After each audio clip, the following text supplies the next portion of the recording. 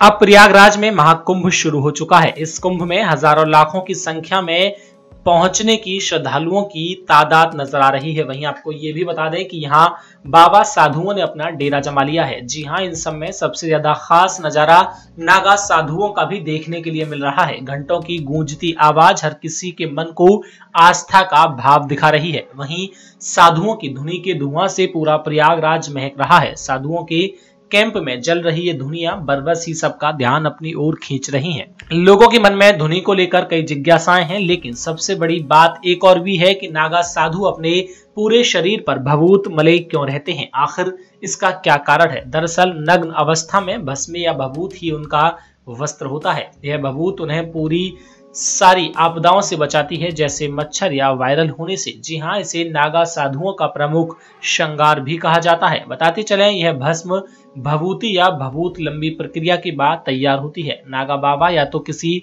मुर्दे की राख को शुद्ध करके शरीर पर मलते हैं या उनके द्वारा किए गए हवन की राख को शरीर पर मलते हैं, या फिर यह राख धुनी की होती है। आपको बता दें हवन कुंड में पीपल, पाखड़, रसाला, बेलपत्र, केला व गौ के गोबर को भस्म, कहते हैं इस भस्म की हुई सामग्री की राख को कपड़े से छानकर कच्चे दूध में इसका लड्डू बनाया जाता है। इसे सात बार अग्नि में तपाया और फिर कच्चे दूध से बुझाया जाता है। इस तरह से तैयार भस्मी को समय समय पर लगाया जाता है। यही भस्मी नागा साधुओं का वस्त्र होता है। हमेशा हाथों में चिमटा, चिलम, कमंडल लिए और चरस का कश लगाते हुए इन साधुओं को देखना थोड़ा सा अजीब भी लगता है।